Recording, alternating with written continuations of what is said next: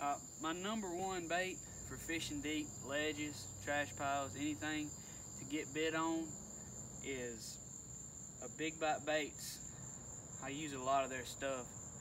Um, a half ounce shaky head is the perfect size. You can feel it. The biggest thing on fishing deep to me is, especially trash piles, is keeping that bait down there in, on the bottom and constantly filling that trash because the more you're in that trash, the more you're going to get bit and a half ounce is perfect for that.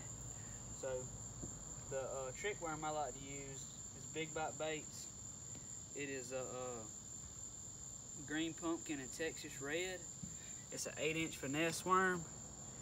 And this worm was actually designed for Lake Eufaula. And I'm telling you, it's killer right there, deep. So um, what I do is, is I'm gonna show y'all tomorrow, but find where your trash is, throw past it, let it sink down, give it plenty of time to get to the bottom, and just I just slowly drag it to the trash and jig it, just like you fish a regular shaky head. And like I say, the key to having to getting bit on this is just keeping in that trash as long as you can. And I'll tell you all about that tomorrow. So after I fished a trash pile or fished a ledge for a little while and they've seen that trick worm, my one of my big go-to baits for getting a big bite is a jig. This is just a regular uh, strike zone. It's a green pumpkin with some black, just a real natural color. Half ounce football jig, and I do my trailer the same way as I do my swim jig. Got the crawfish with the claws colored in that chartreuse. Like I say, to me, half ounce has got to be the best size weight for fishing deep because it's not too much where it don't get hung up in the trash, but it's just perfect where it breaks through.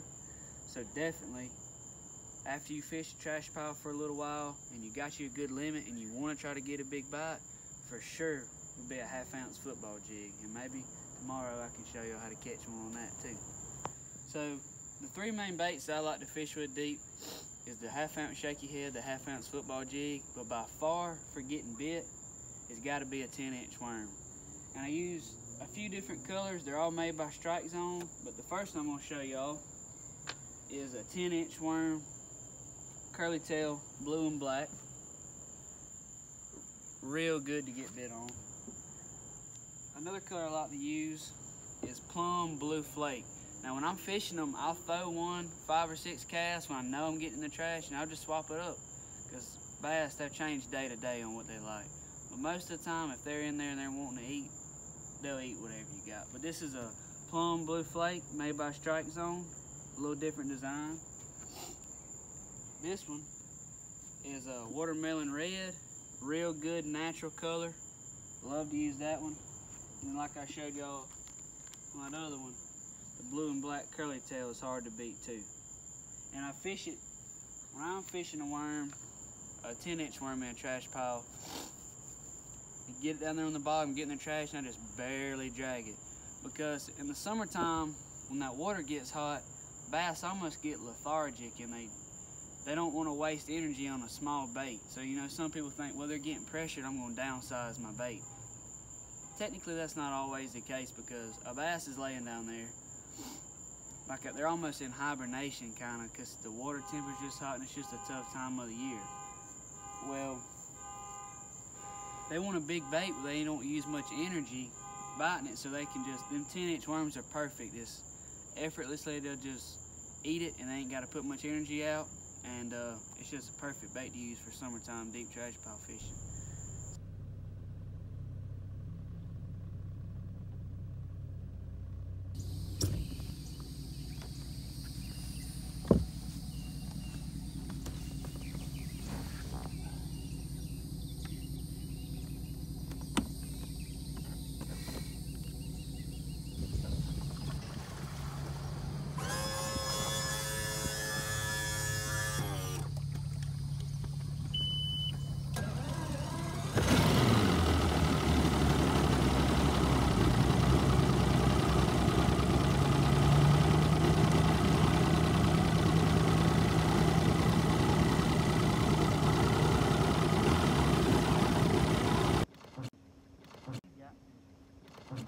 Oh! Net. Is it a big one?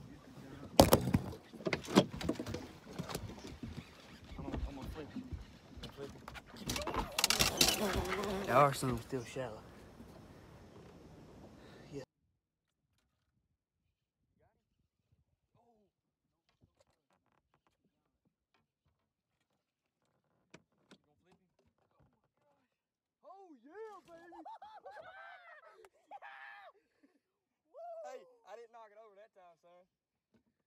I got it on there. hey, you catch them, hell. I ain't, I'll put my damn rod down. Me and Blake are out here. Show y'all what I call a good trash pile. Alright. So obviously that's you got your bass in here laying under. Let me zoom in. To me, what makes this good too is it's isolated. See, that's bass right there. It's isolated. We're in 23 foot of water and nothing is around this. It's just nothing. It's just like a kind of a shale bed and uh, just a random trash pile. And we pulled up here earlier and caught two off of it. Blake caught a good one. So we're finna pull back over and see if we can't catch another one. Right here coming. Got him. Digging.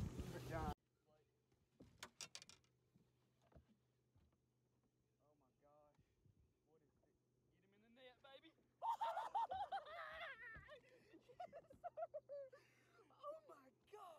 That's a damn giant. I got to catch one, damn it.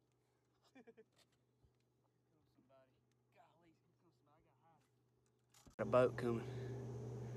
Put him in the well real quick.